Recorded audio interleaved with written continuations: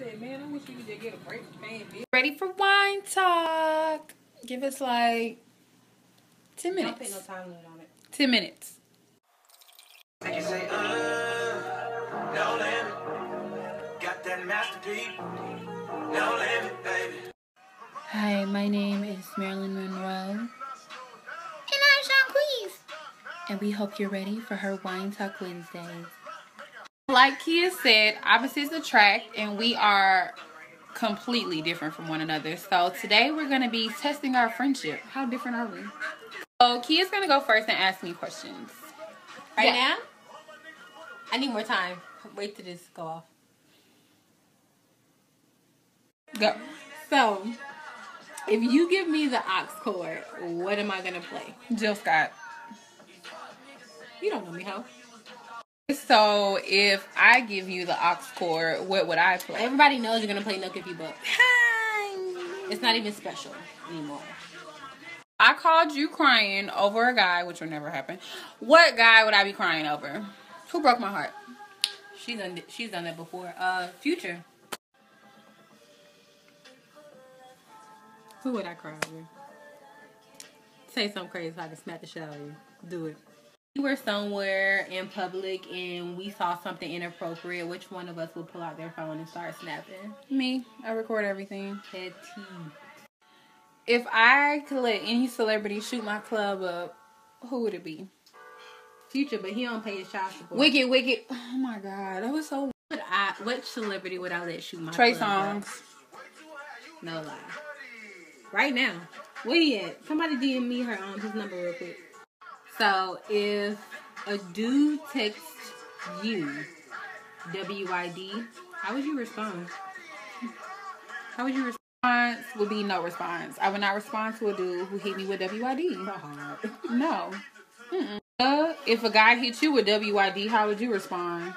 I would just be like, nothing, I'm chilling. WYD. Hit him back with We're the so say you and your dude have been talking for a minute or whatever, and he hits you with the "I love you" first. How would you react? On. If I loved him, I would say I love you too. That's common sense. If I didn't, I would just be like, thank you. I you think say? even if I loved him, I probably wouldn't say it back. Have you ever I'm had a guy say they loved you? Yeah, I have. Bitch. I'm trying to say is sometimes I let my pride get in the way. So even if I felt it, I don't know if I would like just say it right off the back. I probably call him and be like, "Hey, did you mean to send me that?" Don't like look when I ask you that this question, like don't be funny. Don't be don't be funny. For real, this is a serious question. Okay. Serious. Okay, cool. That's my favorite sex position.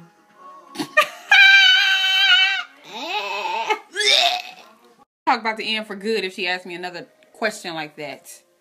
I was just kidding. We have to do wine talk after dark for the grown ups one day. I don't wanna be a part of it. course. Okay, if you won the lottery, who are the first three people you would call? My mom. Okay, my mom, Sallie Mae, and probably my dad. Like I went to my friends. Her mom, her dad, and me. That's what you meant to say, right? That's what I meant. Yeah, my bad. Mom, why were your favorite slushes? We don't drink that much. We don't drink much. Y'all drink every week. I'm gonna play off your question earlier. If I, if you call me crying, what would be my advice to you? A little more level headed and mature than I am, you would probably be like, I'm sure he didn't mean it that way. Just wait a few days and call him, and y'all just need to talk. Hey, I would agree with that. Unless you done told me some crazy stuff he done did, then I'm not gonna say that. I'm just gonna be like, question, please. Just gotta leave him alone, man. Leave that, because Kia always be taking up for like the opposite person. I can tell her I literally Well, got in a fight wait? with somebody, and she Can you- take up for them. I'm like, what about me? Can you? Can you?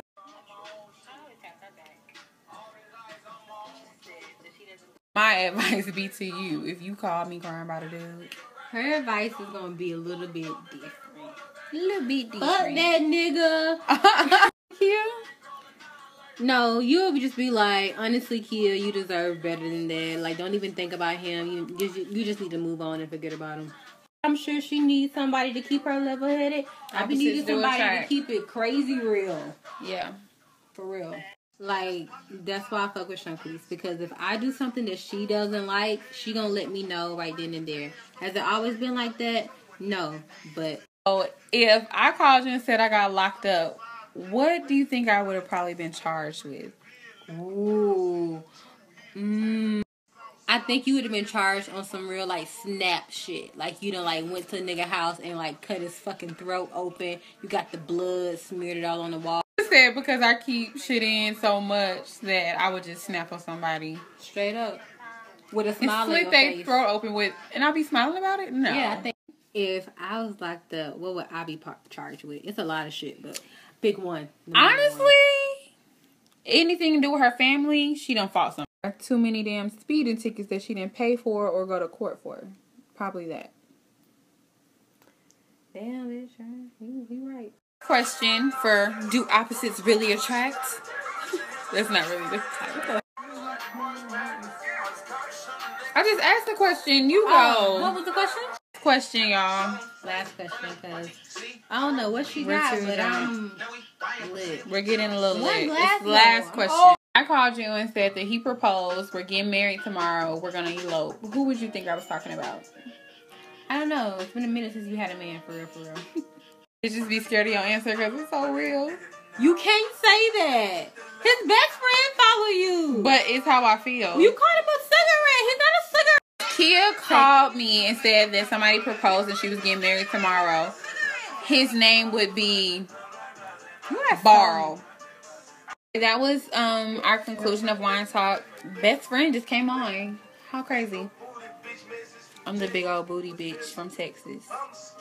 Of course, we thank you guys for watching. My little negative wisdom is read this book. It's called Self Love. It's really good. Okay, um, you know, as women, we just need a little self love. We need to remember you that bitch. So go get it. And but that's my bestie, my bestie, my best friend. Go best friend. Nigga living TTG and everything. Mine is called Menage a Trois.